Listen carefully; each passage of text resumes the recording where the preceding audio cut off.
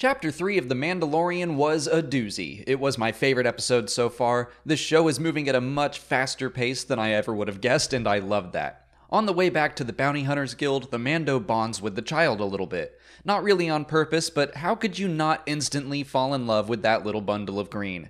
But a job is a job, and he turns Baby Yoda over to the Imperials. It's clear that the client hired IG 11, the Trandoshans, and many more bounty hunters to make sure the job got done, but the Mando is the one that pulled through, so he is rewarded with an ice cream maker full of Beskar. I loved the return of that prop. Although the Mando shows some curiosity regarding what will be done with the child, he takes his reward and goes straight to the armorer, catching the eyes of his fellow Mandalorians along the way. They are clearly not a fan of him working with the Empire, and then we get to dive a little more into what happened to their people. It sounds like it was the Empire that caused the Great Purge, and the reason the Mandalorians now live in hiding. I wonder if all of that Beskar was taken off Mandalorian warriors and then melted down into currency. Last week, I talked a lot about how bounty hunting is a profession that is beneath the Mando, and that all the Mandalorian people have been reduced to this dishonorable state. Taking precious armor that was passed down for generations and turning it into money is another symbol of that. The blacksmith seems to have no problem using it to create new armor, but the other Mandalorians, specifically a large one, takes issue with it. The bigger Mandalorian calls the Mando a coward for working with the Empire and tries to take his helmet off, causing the two of them to come to blows. And they even pull vibroblades on each other, which we can see vibrating on screen, which I thought was a nice touch. The armorer calms things down and reaffirms that anyone who chooses the Mandalorian way of life can't be a coward. The fact that she says he chose this life supports my thought that the Mando isn't actually from any known Mandalorian house, but instead could be founding his own.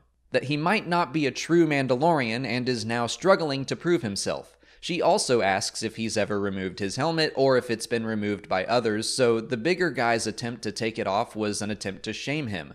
By the way, that Mandalorian is credited as Paz Vizsla in the credits, related to Pre and Tar Vizsla, one of the biggest Mandalorian clans we know. So we do have this big name guy telling the Mando that he isn't worthy.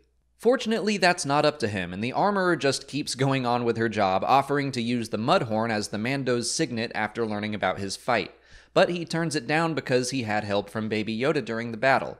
Basically, he's feeling guilty about leaving his little green son with the Empire. Last week he got an egg for Jawas and then watched them rip it apart. This week he turned over the egg shaped crib to the Empire and he can't stop thinking about what might be happening to it. Chapter 3 is titled The Sin, and that is the sin. So he gets his new set of flashy armor, and again, as it's being forged, we see more flashbacks to the Clone Wars. And this time, it's more clear what's happening. We actually get to see Separatist ships and super battle droids. He is again hidden away in a bunker, only to be discovered by a droid, and the flashback ends. I think the next time we see one of those sequences, we're going to see some Mandalorians come in to destroy that droid, save him, and adopt him into their culture. I've still got Fallen Order on the mind, but these forging scenes remind me of something similar that happens in the game that I won't get into for fear of spoilers, but there is this idea that your past traumas become a part of who you are. They forged the Mando into the person he is now. And that person is someone fully decked out in Beskar. Man, I talked a long time about that armorer scene, but it had so much going on we can finally go into the cantina where Greef Karga makes a big show of his new best employee, the Mando, for succeeding in capturing the baby when no other hunter could. It seems to me that the rules of the guild have been lacking since the fall of the Empire. In previous stories, we've been shown that poaching another hunter's bounty is super against the rules, but it seems like it's straight up encouraged now. It also feels like everyone on this planet is a bounty hunter, like this is the guild planet or something. Karga is busy enjoying his cut of the Mando's reward, but the Mando only wants his next job. He's got everything he wanted a full set of Beskar armor and his choice of the bounties, but he's still not satisfied. He's feeling guilty and he's just trying to distract his mind. So he takes his next job and is about to head out when he gets one final reminder of the baby that saved his life, and he just can't do it. The rest of the episode is just an awesome action sequence that is so my jam. I love a good one man army sequence. The Mando returns to the Imperial compound, blows a hole in the wall, and blasts his way back to Baby Yoda. There are some interesting hints dropped about what the Empire wants with the baby. Dr. Pershing mentioned that someone explicitly wanted the baby to be brought back alive, but Werner Herzog just asks him to extract the necessary material. My best guess is that they want to extract midi-chlorians, but Pershing insists that the baby would already be dead if not for him, and as of right now, I believe the guy. I do think he's trying to protect the child to a degree, and the Mando spares him. So now he's going on a rampage with a baby in his arms, which gives off some real hard boiled or shoot 'em up vibes. I like that four stormtroopers surround him at one point because it immediately reminds you of the scene in the first episode where they say they have him 4 to 1, and he just says he likes those odds. And he easily takes them out with his fancy new weapons. There's no sign of Werner Herzog, so he leaves the compound, and you get to let out this little sigh of relief, but then all the bounty hunters on the planet are alerted that the baby is once again on the move. So now the Mando's gotta fight his way out of the entire city. And super props to Deborah Chow for that whole sequence. The suspense is built perfectly from the moment that first tracker lights up to the moment the first shot is fired. And then that whole fight was so Western. Favreau has talked about the Western inspirations of this show a lot, but I still really enjoy seeing them. So many tropes are used, and I don't even care because it's just fun to see them in a Star Wars setting. But I love that he dives into the cart and then has to convince the droid instead of a horse to get him out of there. But then the droid is shot, so then there's another standoff. The Mando again reminds me of Indiana Jones, just making things up as he goes, or we could compare him to Jyn Erso. He's using every chance he gets until he succeeds or the chances are spent.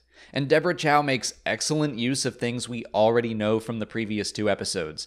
For example, just seeing the two prongs of the Mando's rifle peek out of cover just fills you with this sense of anticipation.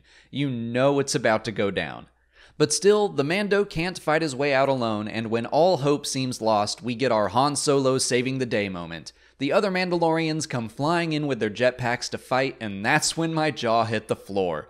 This felt like it was straight out of the Clone Wars, but we're seeing it in live action. How insane is that? All these Mandalorians, even Paz Vizsla, the people who looked down on him earlier in the episode and saw him as unworthy, now accept him and support him.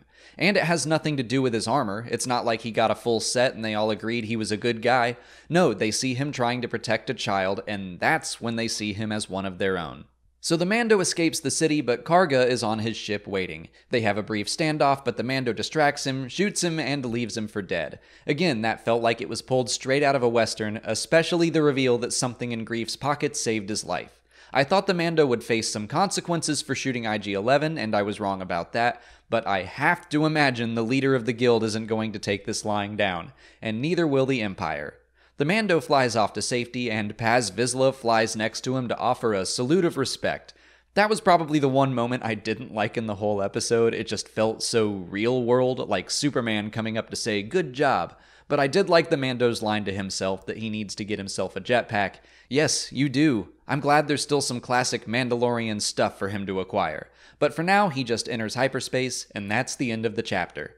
I was really surprised by this episode. I was expecting the Mando to turn over the baby and get his armor, but then I thought we'd marinate in his guilt for a while. I thought he'd go back to Baby Yoda at the end of the season, and everything we just saw would be the season finale.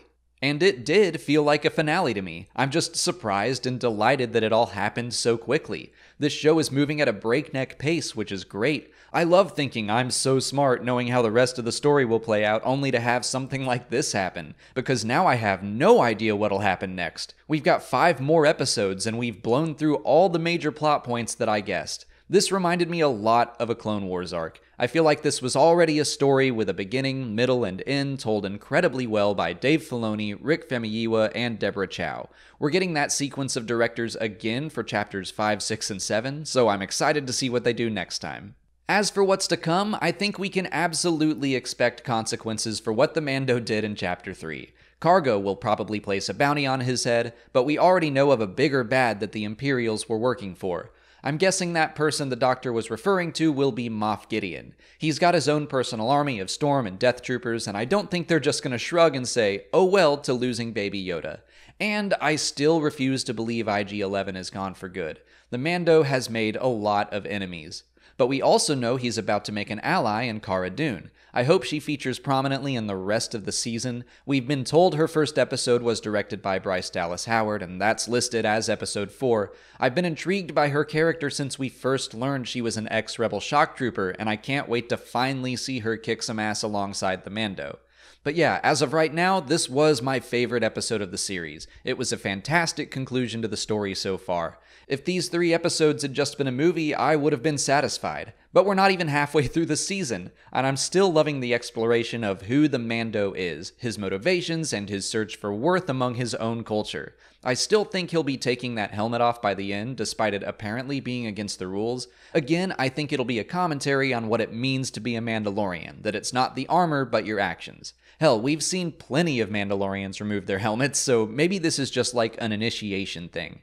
But that's all I've got to say about Chapter 3 The Sin. Let me know what you thought of it in the comments. Normally, you could expect a long form discussion from us to come out later today, but Molly is at a friend's wedding, so we'll save it for another time. Until then, you can enjoy our audio commentaries for the first two chapters on our Patreon page by following the link in the description. If you haven't already, please like this video, subscribe to the channel, and follow us on Twitter, Instagram, and Facebook. As always, thanks for watching, and may the Force be with you.